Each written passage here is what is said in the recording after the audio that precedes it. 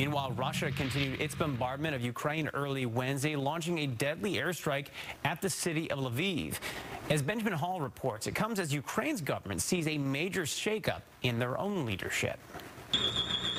Russian forces launching another deadly airstrike overnight in the western Ukrainian city of Lviv, killing multiple people and damaging several buildings. The attack comes as Ukraine is reeling from the deaths of dozens of people in the city of Poltava on Tuesday. Officials say two ballistic missiles hit a military academy and a hospital, leaving hundreds of others injured in one of the deadliest attacks since the start of the war. We know that there are people under the rubble of the destroyed building. Everything is being done to save as many lives as possible. As the fighting grinds on, the U.S. is reportedly close to supplying Ukraine with long-range cruise missiles that could reach deep into Russian territory.